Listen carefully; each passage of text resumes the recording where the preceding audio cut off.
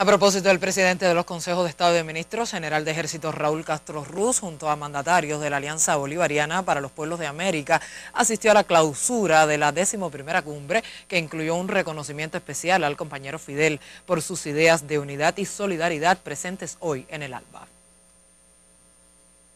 Fidel, te mandamos un aplauso pues todos desde aquí. ¡Viva Fidel!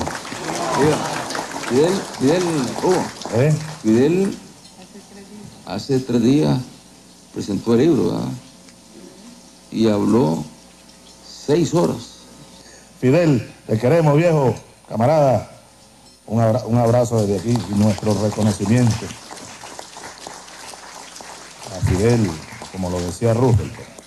La reunión concluye con el cumplimiento de una agenda amplia de trabajo que puso el mayor énfasis en el aspecto económico en prueba de que avancen a la vez los resultados económicos que puedan apoyar los proyectos sociales. También propugna el fortalecimiento del Banco del Alba y de la moneda el Sucre, unidad de cuenta y valor para el comercio de los países integrantes. Decidieron concluir lo antes posible lo que se denomina mapa económico, un registro de las posibilidades existentes en cada país para conformar el ECO-ALBA.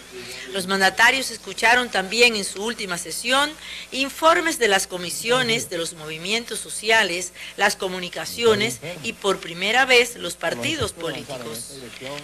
La cumbre, que sesionó en dos jornadas, acordó dar a Santa Lucía y Surinam el estatus de invitados especiales permanentes y el inicio del proceso de incorporación plena.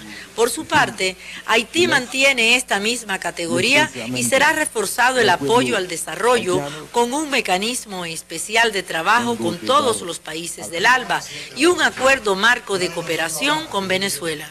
La reunión constituyó asimismo un paso importante a la institucionalización del organismo con la aprobación de una Secretaría Permanente y varias comisiones de trabajo.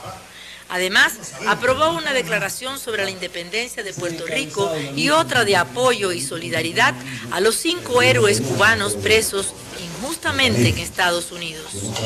Desde Caracas, Anislay Torres e Irma Cáceres y un equipo especial del sistema informativo de la televisión cubana.